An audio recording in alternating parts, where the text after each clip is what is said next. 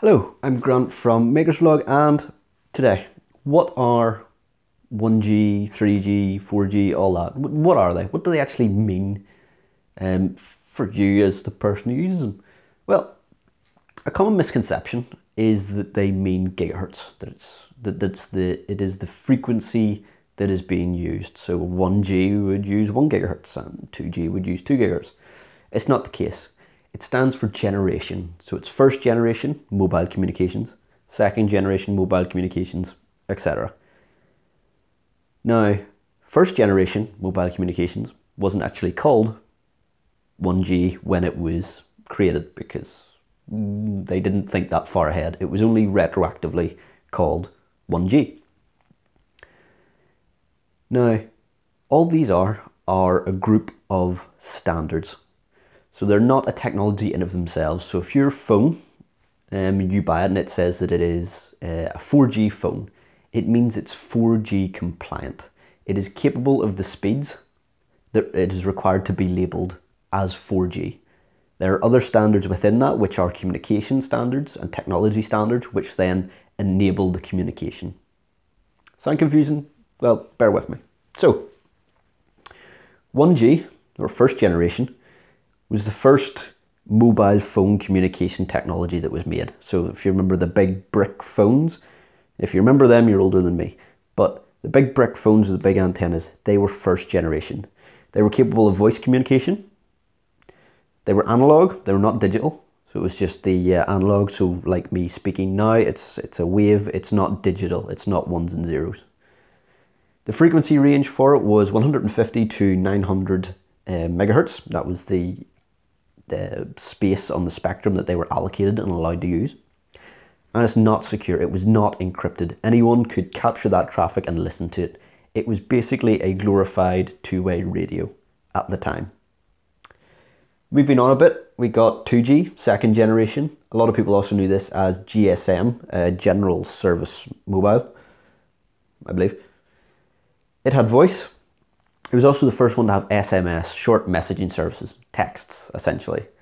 Also, a fun fact if you ever remember the old um, ringtone that sort of came as default, that was uh, that, that is SMS in Morse code. And that, that's what that original text message uh, receive tone used to be.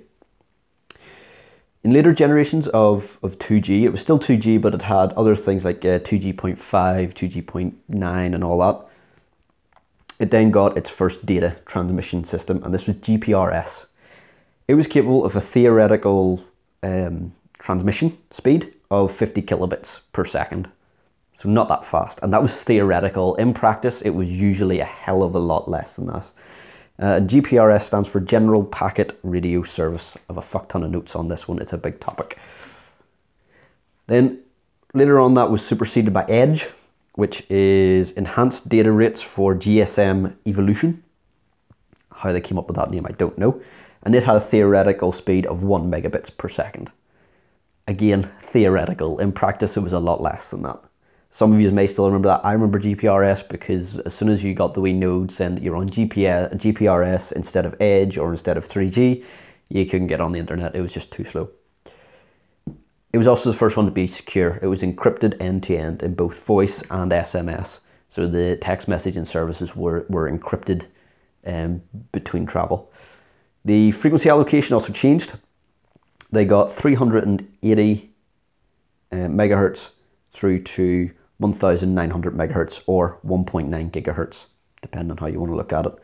Um, this frequency change allowed them to do um, data communications because the higher frequency ranges they were allowed bigger bandwidth, so they were able to take up larger chunks of the spectrum for a single communication or multiple communications in this case, and that allowed them to send data. That was that was what allowed them to do it was being uh, allocated that larger bandwidth. Third generation, a lot of you will probably remember. Um, it wasn't that long ago in the grand scheme of things. A key thing though to be, this was the first one that made it a compliancy test. The other ones were just sort of, they were called 2G because that's what they were. Whenever 3G came out, um, there were communication standard authorities who said in order for your devices to be called 3G and to say that they're allowed 3G, they need to make certain criteria. They need to be able to transmit at these speeds for you to be allowed to call it 3G. That speed was 200 kilobits per second, so 0.2 megabits per second peak. And the peak is the key. Because even though here, that's one megabits per second, that is in theory on edge is faster than what the minimum requirement for 3G is. But as I said, edge was theoretical of one megabit per second.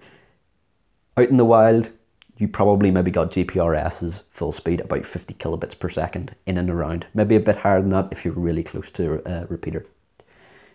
With the 3G standard, they said no, you must get minimum. At any given time, if you're connected to 3G, your minimum speed must be 200 kilobits per second. And that was the key distinguishing feature. The uh, first sort of standards that came out was U UMTS, which is Universal Mobile Telecommunications Service and it had a theoretical speed of 56 megabits per second. It was also um, closer to this um, out in the field. It wasn't quite as wild as the Edge or GPRS, where they said, yes, in ideal circumstances you can get this, but in reality you won't. The UMTS was actually fairly close to the mark. You could get um, quite close to that. And the other standard uh, was CDMA 2000, which was mainly used in uh, South America it is Code Division Multiple Access uh, 2000, and it was just a another standard of communications. So the CDMA 2000, UMTS, GPRS, Edge, all of these are standards within the generational standard. They are um, technologies and software that allow the communication of these uh, data packets at the set speeds. The 3G and 2G and 4G are all just overarching those. So they are saying, okay, if you want to be called 4G, you need to meet these criteria. These companies create these technologies. So, sake of argument, UMTS, which meets that criteria, and they go to the governing body and say, okay, here's the speeds that we can get. We want this to be labeled as 3G. And so all of these sort of fall under 3G, and as you, the consumer, if you're buying a phone, all you need to know is, oh, it's 3G compatible, so I'll get those speeds. It makes it easier for the consumer just to go and buy a device and know roughly, yes, that's going to be fast, or no, it isn't. Because if they had all of these um, sub standards, so GPRS, Edge, UMTS, on a phone, it could get very confusing. You would look at a phone go, okay, it's capable of UMTS. What, what does that mean? Is, is that fast? Is it not? I don't know. So the 3G standards and 4G standards and all that were made to th make things easier for you, the consumer. Frequency ranges also changed. Um, it had it moved up in the frequency, so it's 800 to 2100 megahertz or 800 megahertz to 2.1 gigahertz. And the same uh, thing happened where they got more bandwidth on the higher frequencies, so they were able to transmit that, that data. Also, technology got better, so the communication chips and hardware got better, and that also enabled the uh, higher rates of communication. 4G. To be 4G compliant, it had to be um, 100 megabits per second or 1 gigabits per second, depending on where you are. So the 100 megabits per second is for a moving uh, device, so in a train, in a car, whatever, you have to be able to get 100 megabits per second. And if you're stationary, 1 gigabit per second. Now, you might be thinking, I don't get one gig per second on my mobile phone. And you would be right. The standard, whenever it was created, it was very optimistic. And none of the devices um, could actually reach this in real world scenarios. So they sort of took it as, well, okay, it's close enough. Um, the realistic speeds are in and around 50-ish, depending on where you are. And the technology is advanced now to the point where you, you can you can get one gigabit if you're really lucky, but it's not that likely. So the 4G standard, the authority that made the 4G standard, whenever all these companies came to them and says, well, we are much faster than 3G, but we can't uh, we can't get up to the one gig um, specification that you want. And so the authority went, well, okay, you can call it 4G anyway and sort of just took it as uh, on the head that okay, well, 4G is faster. We haven't actually documented that um, you can get these speeds with 4Gs. We haven't told the public that, so okay, we'll just we'll just accept that and we'll say that it's faster. The standards for it were uh, Mobile WiMAX and LTE. Uh, these standards, similar to UMTS and CDMA, these two, uh, just technologies and companies that made 4G possible. But 4G had a big deviation from third generation, and that was the frequency domain equalization, FDE. So 3G used a spread spectrum technology, is what they called it. And I always try and keep these videos simple, so I'm not going to go into what that is. Just accept that that is what 3G used. It used a spread spectrum technology to enable its communication to be much faster than 2G. 4G uh, then went on to frequency domain equalization, which is the same thing that 5G is going to be using, or similar anyway. And it allowed for a much uh, faster data rate. And with this, the technology also got better. And a key thing happened, and that's this MIMO, which is an antenna system.